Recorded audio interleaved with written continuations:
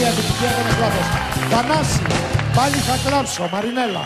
Μη χαμηλώνεις τα μάτια σου στο χώμα γλυκιά μου αγάπης συγγνώμη μη ζητάς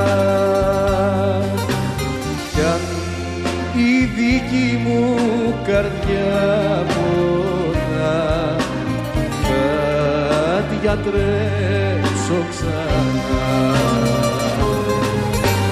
Κι αν η δική μου καρδιά πονά θα τη γιατρέψω ξανά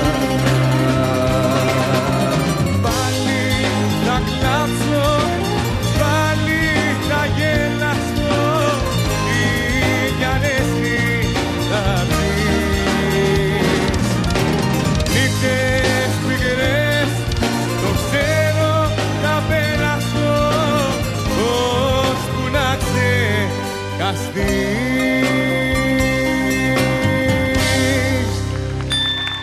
Αδερφέ Σοφομέρα. Άσε το κανένα στο κίνηση της Βαρνά.